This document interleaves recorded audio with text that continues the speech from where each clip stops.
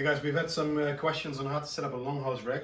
Um, so what we've got here is we've got a nice little first stage, uh, two second stages, a couple of pile of hoses. So what you're going to need for this tutorial, like I said, one first stage, two second stages, two adjustable spanners. If you're going to use adjustable ones, make sure you use high quality ones so they don't move when you're using them. If you're using cheap, cheap ones, um, they might end up damaging your hose fittings, which you don't want. You're gonna have a naked pressure gauge on a 61 to 66 centimeter high pressure hose. You're going to have a 56 centimeter regulator hose. You're gonna have a 56 centimeter inflator hose for the wing and a 210 centimeter regulator hose.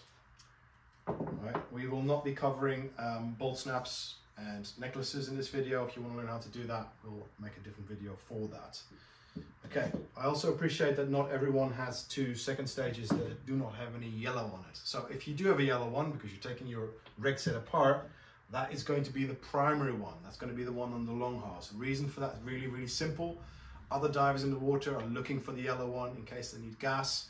So if you want to, um, if you want to be able to supply them the yellow one, it's got to be the one that you want to supply, which is not the one on the necklace. It's going to be the one in your mouth. Okay.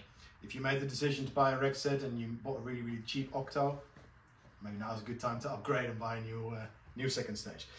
Anyway, right. The reason we're going to use two spanners is we don't want to be using one spanner on the um, on the fittings here on the regulator. We want to use one spanner to hold this in place so we're not putting any stress on the body or accidentally tighten this up any further. If you are taking hoses on and off, it'd be a good idea to examine the quality of the O-rings both internally and on the other end of the hose. If they need changing, now's a good time. If they look dry and cracked, definitely don't use them. Okay, so we're going to put one spanner on the regulator itself, just to hold it in place. And we're going to use the second one to nip it up. It does not need to be crazy tight. The O-ring is doing the sealing, it just needs to be tight enough so it doesn't come undone when you're when you're using it like that when you're trying to do it by hand. Right, I'll move this out of the way. Then the 56 centimeter hose. Now, if you're diving in a wetsuit and you're very slim, for example, you can make this hose shorter. Okay, we've had some customers that went down to 40 centimeters, even 35 centimeters, um, because what you don't want, you don't want this to sit in the way of the D-ring.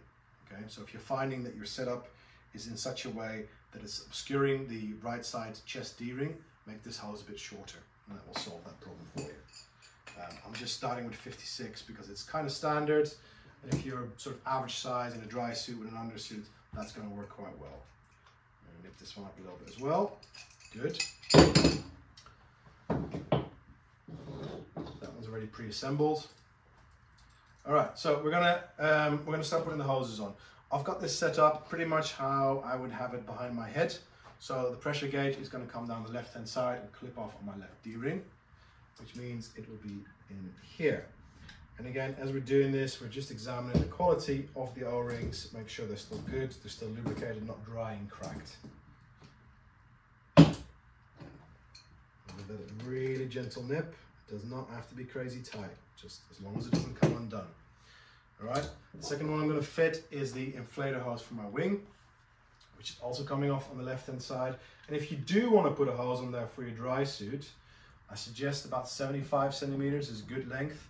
Um, again, depending on how big you are and um, whether you're wearing a dry suit or a wetsuit, you're to make it comfortable for yourself. And put the backup regulator in place. Make sure not to cross thread it. I would be very careful because you only have one first stage. You don't want to buy another one, presumably.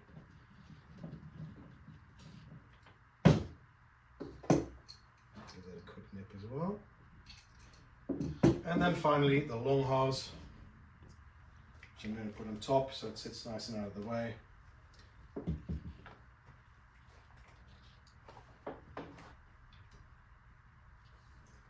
And you got to examine regulator you got because some, sometimes the ports are a little bit angled and you just got to make sure that you are starting in the right angle um, so that you don't end up damaging the thread.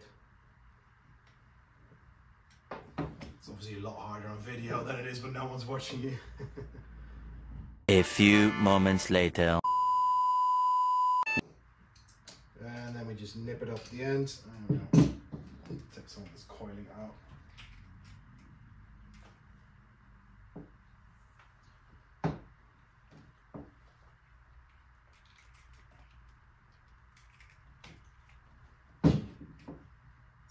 Cool. So there we have it. One long hose setup ready to go.